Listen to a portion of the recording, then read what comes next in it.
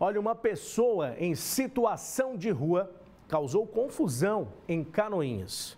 Olha o que, ela fez, viu? Ele teria provocado um incêndio em uma casa abandonada. Colocou fogo em uma casa. Depois disso, não satisfeito, teria ameaçado um homem em um parque infantil.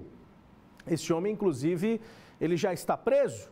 A informação agora é com Ednei Vassoaski, que vai trazer detalhes dessa ocorrência. Morador de rua causando confusão, botando fogo em uma residência abandonada, partindo para cima de um cidadão. O Ednei Vassoaski é quem traz as informações.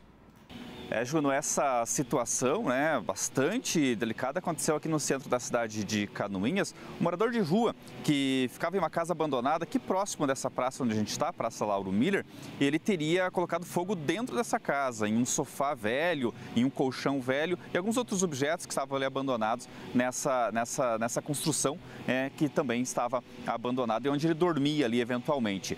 Aí então dessa casa ele saiu e veio aqui para a Praça Lauro Miller e desse parquinho infantil que a gente está aqui, ele teria ameaçado um homem com uma faca.